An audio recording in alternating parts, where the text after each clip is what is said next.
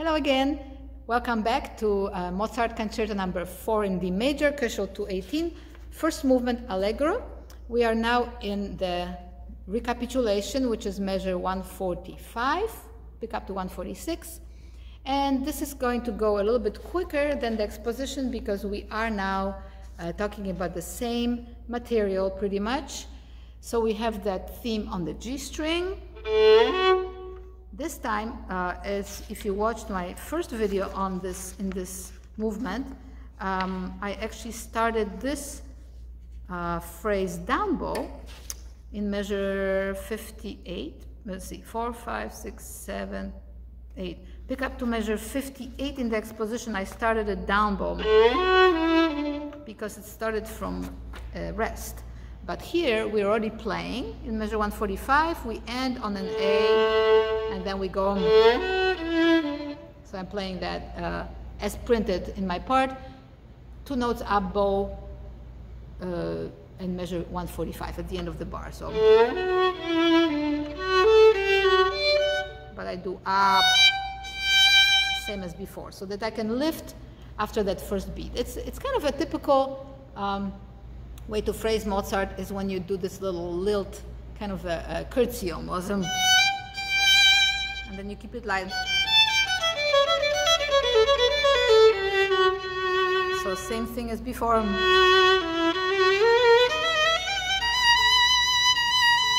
This is different. So in order for the composer to stay in D major, which what happens uh, in the recapitulation is the composer stays in the same key rather than modulating to another key, the dominant. Uh, so we had to go to a different place. In measure 152, we had that slight change.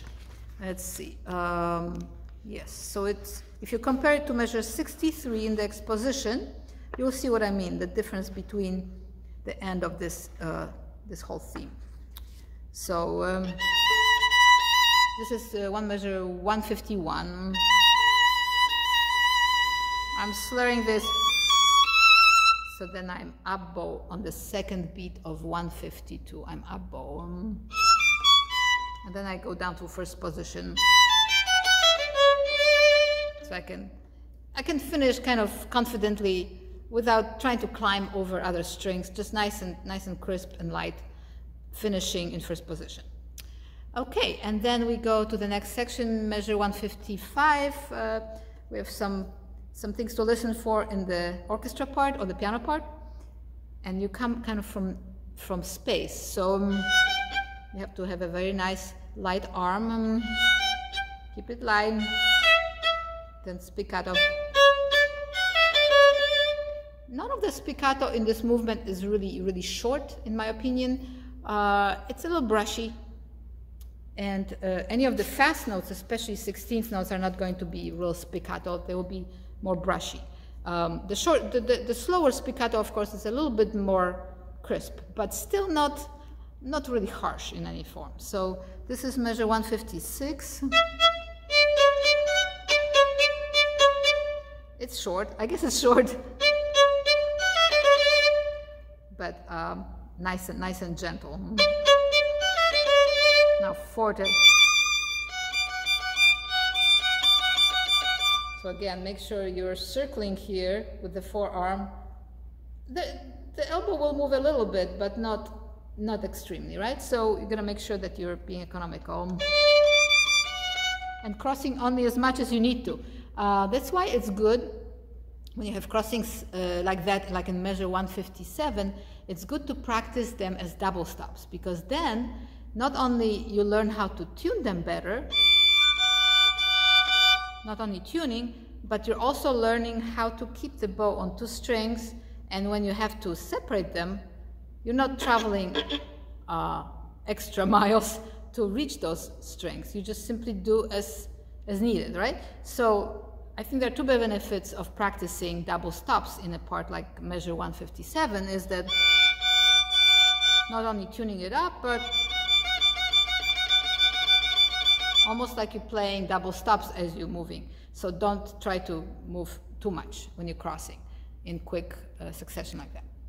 Okay, so that's good piece of advice. Uh, one measure 159. That's on the string. So 160 is a quarter note. So I'm playing that on the, on the note, the trill on the note, because you can't go, I don't do that. Um, okay, then the next part, just like in the exposition, we have to listen to the uh, accompaniment and really uh, good to practice with the metronome so that you, you are quick enough on those 16th notes. So one, or rather one, two, three, four, or if you count in two, one, two, one, two. Okay, you can practice counting out loud. That's, that's a good exercise for concentration.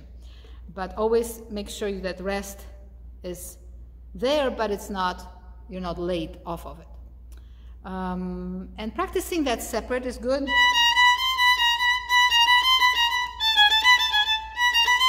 Starting up bow.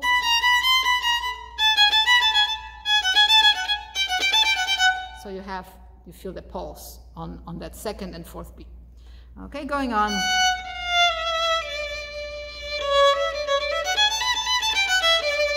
So again, practice it separate if the bowings are confusing because uh, there's some slur, uh, some groups are slurred twice, some is the one slur.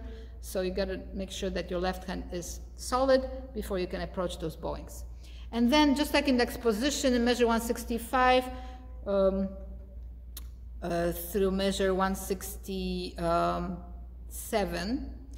You, we have four measures, and I do, let's see.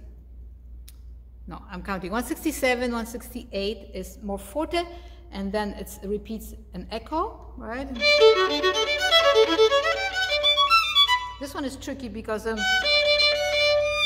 you have to reach like a, like a fingered octaves. Well, some people go go to uh, fifth position. I actually go to fourth position. I stretch. So I go to third finger here. So you can choose, and then I go down first to first position. And then I do echo. This one is different than in next position, but, but again, don't try to bounce it.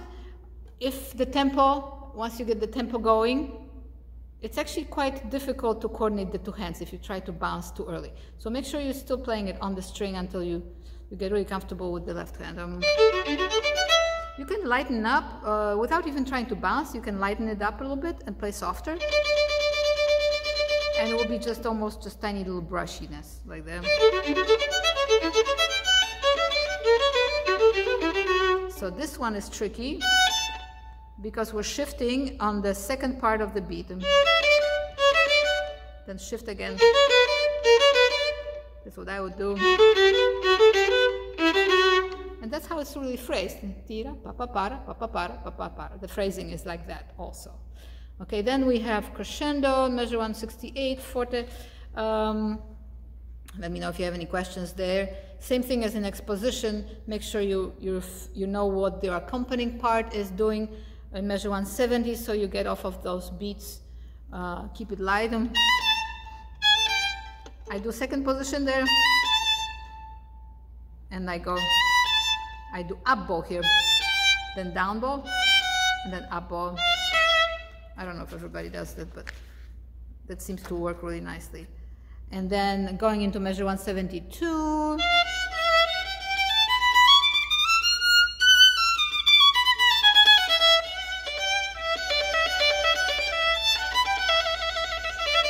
So I do the same thing as I did in exposition. In measure 175, I slur 6 16th, the first 6 16th notes are slurred. And then I do separate. Okay. All right. So we're almost done with this movement other than the cadenza. So here is the second, or we can call it third theme in measure 179. Uh, so we're now in um, we're still in D major, so it's the same theme, but it's on in a different key, right? So forte. So nice little diminished arpeggio there. Practice that so you can get be comfortable on the G string. Um.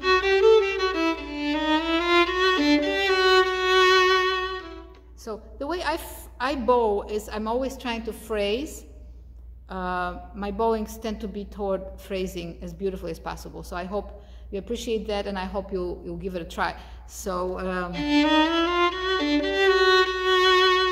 so I'm going to a downbeat of 183. I want to make that entrance beautiful.